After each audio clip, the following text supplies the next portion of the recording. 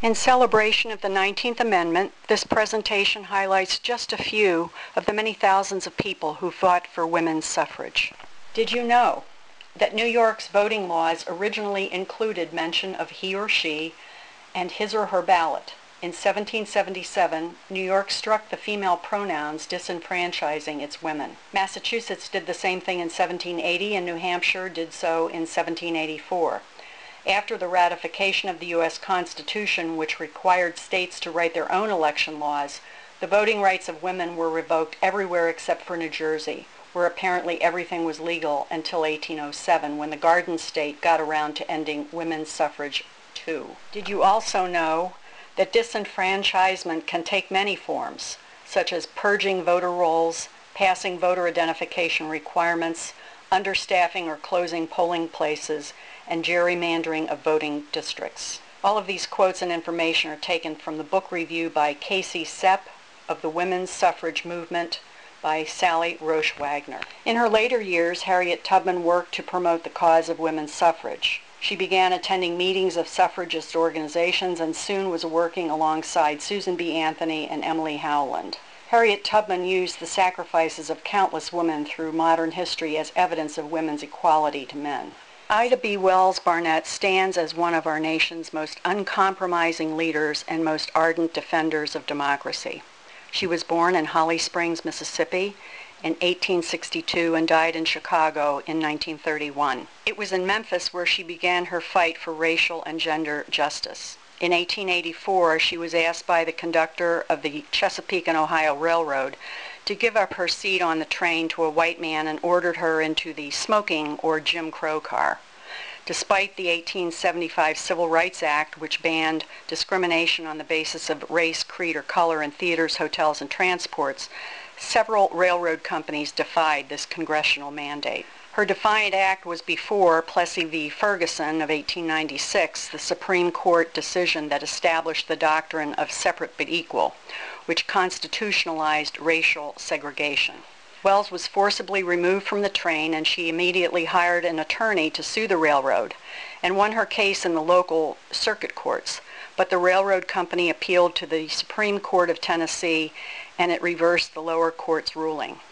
This was the first of many struggles Wells engaged to overturn injustices against women and people of color.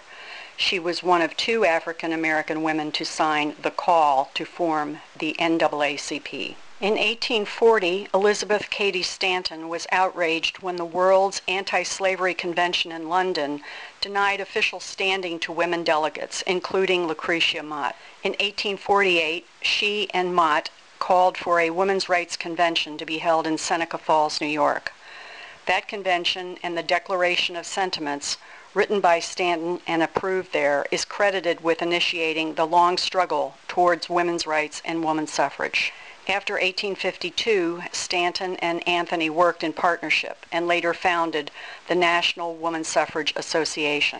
In 1872, in an attempt to claim that the Constitution already permitted women to vote, Anthony cast a test vote in Rochester, New York in the presidential election.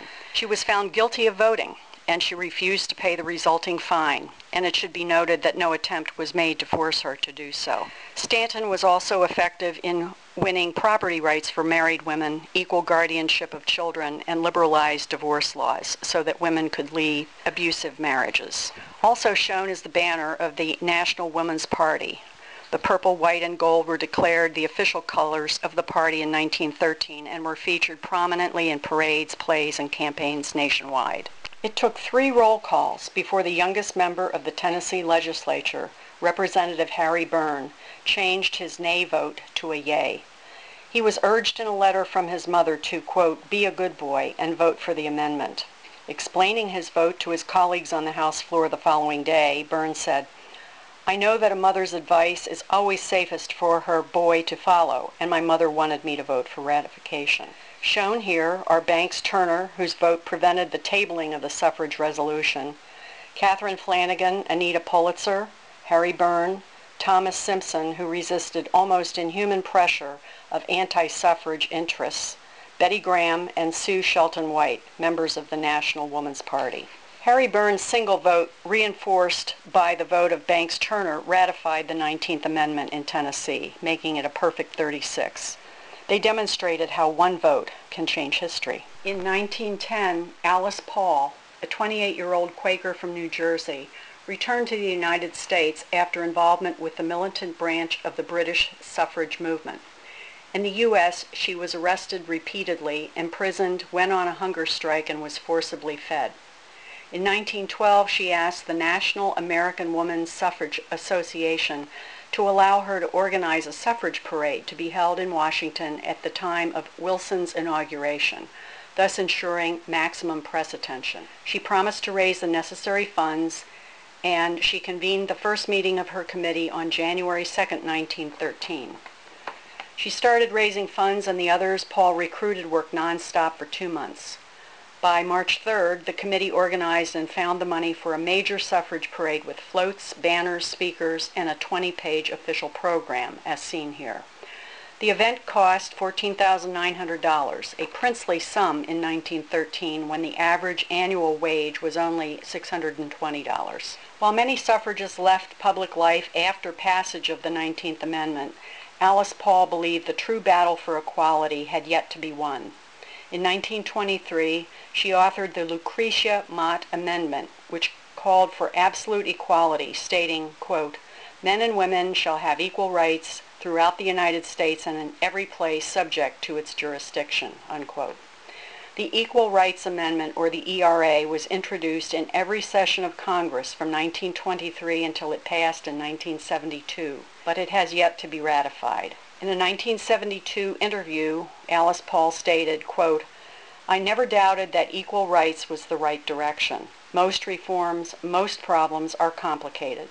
But to me, there is nothing complicated about ordinary equality. Here we have the text from the Equal Rights Amendment. And it should be noted that 96% of all Americans believe that women already have equal rights. However, they really don't.